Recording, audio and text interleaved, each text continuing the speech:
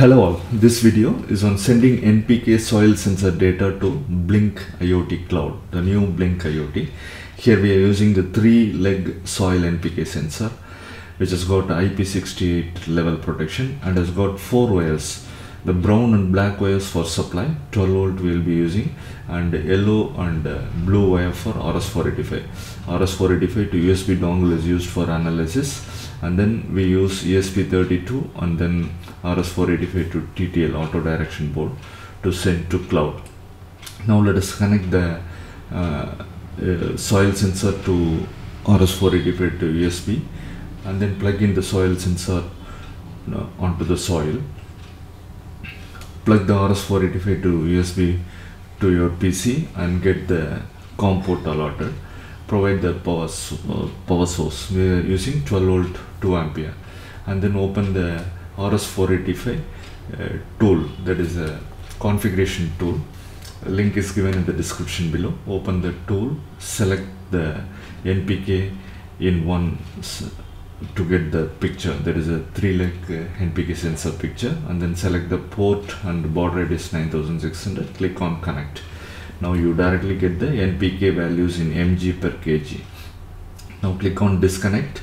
At the bottom uh, right hand side uh, corner you get the hex code to send uh, to get the values from the NPK sensor. Copy this hex code and paste it onto notepad so that we will edit for getting the all the three values. Here the 01 is the device id that is the npk sensor id 03 is the uh, read holding register and 001 is the starting address to read from.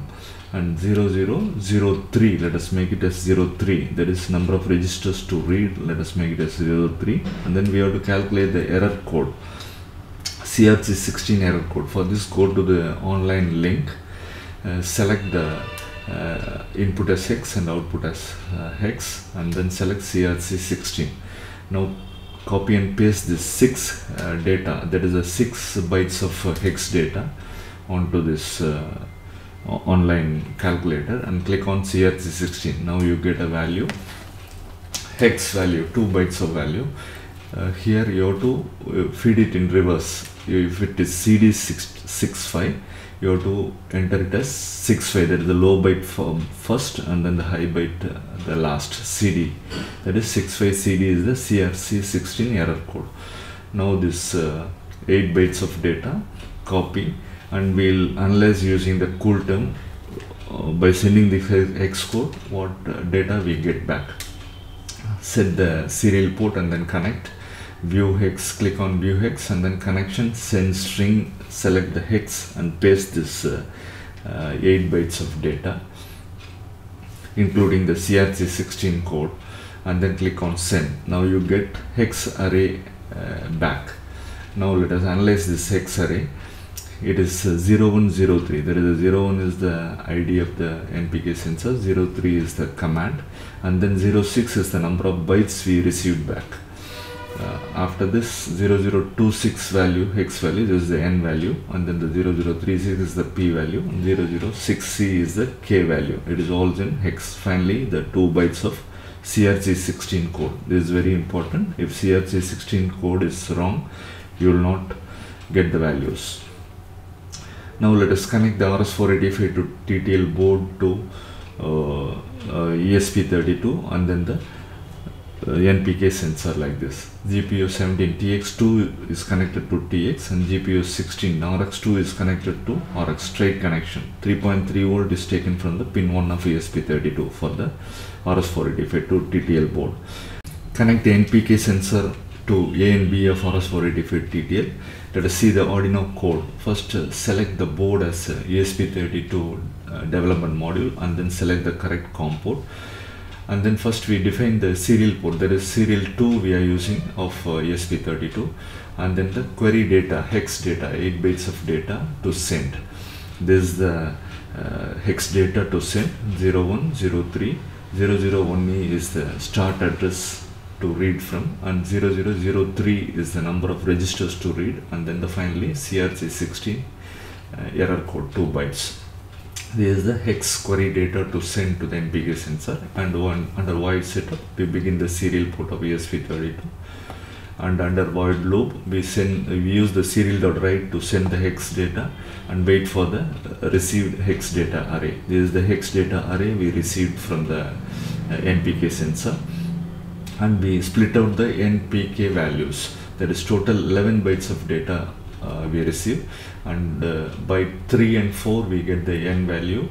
And byte 5 and 6 p value. And uh, byte se- 8 and uh, 7 and 8 we get the potassium value. We split out the data and print it on the serial monitor. Upload the code and then open the serial monitor at uh, 9600 baud you get the npk values. It is uh, bit fast so let us add a delay at the uh, end of the loop 500 millisecond and upload the code again. Now you get the data at proper speed. Now let us see the Blynk iot uh, uh, design. We are using the free version of the Blynk iot which has got some limitation. We can use only up to two devices and five users and main constraint is the data streams. There is only five data streams per uh, template allowed so only five data values we can get from this free version.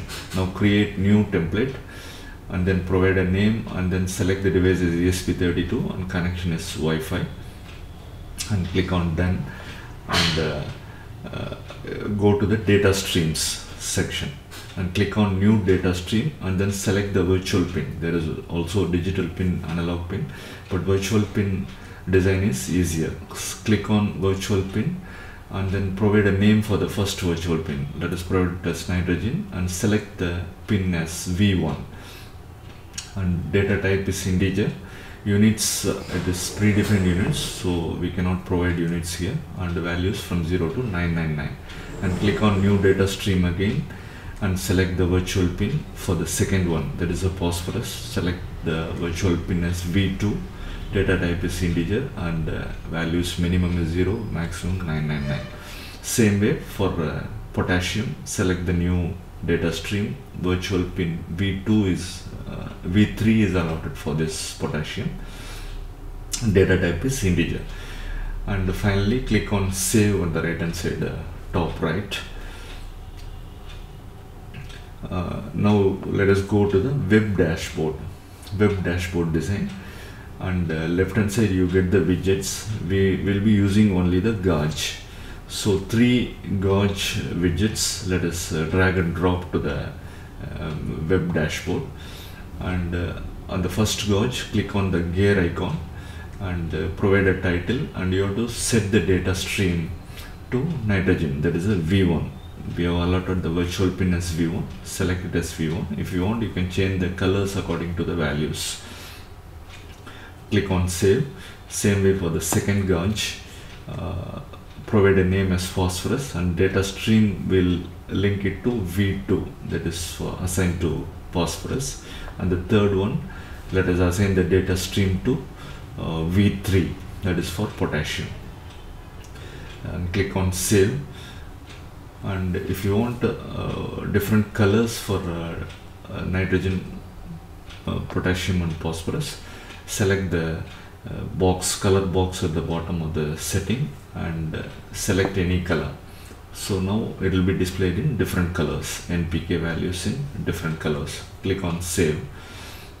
And now we have to add the device. Left hand side top click on devices and then click on new device and click on from template and select the template you uh, now that is the npk and click on uh, save now you get the uh, device template id device name and then the authorized to- token at the right hand side top. Copy these three values this is very important and then paste it in a notepad.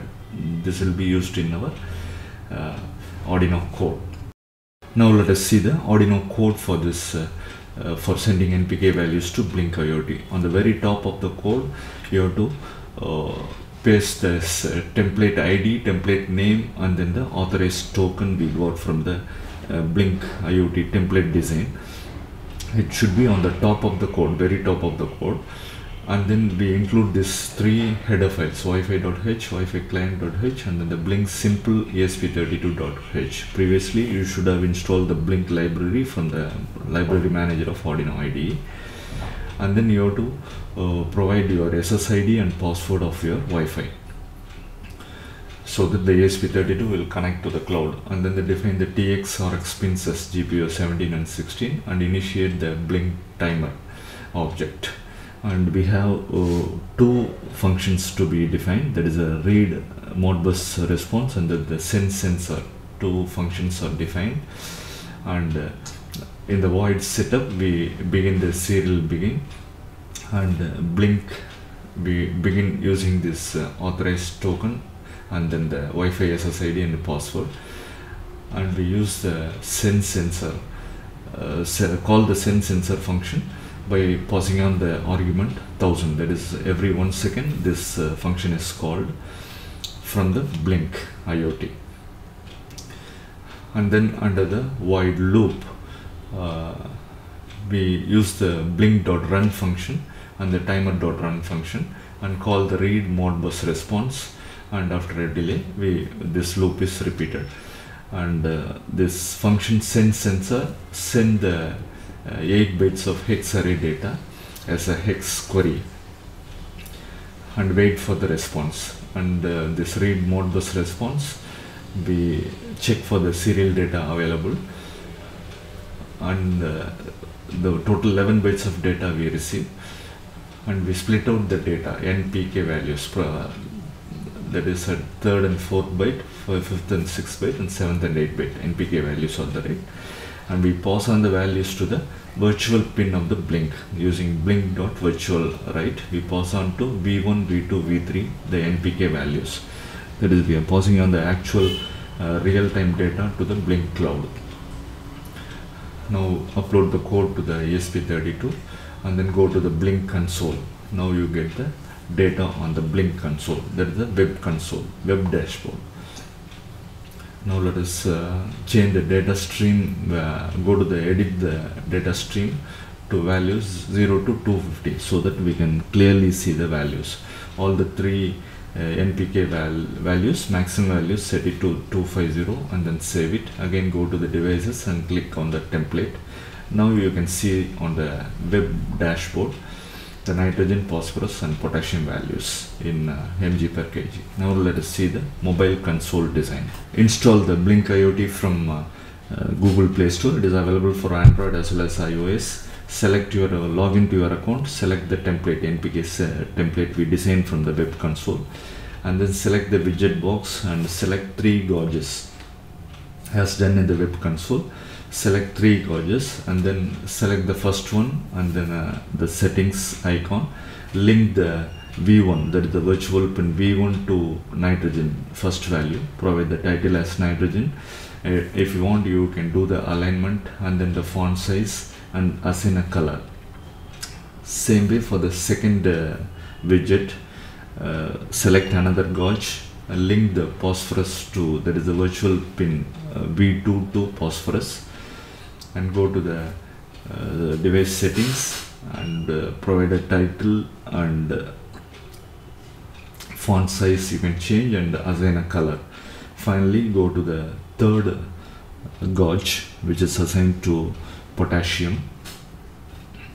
This is linked to v3 virtual data pin of uh, uh, Blynk iot. You can do the settings as uh, previously uh, and assign a color. So finally go to the back icon. You can see the values npk values on your mobile. Thank you for watching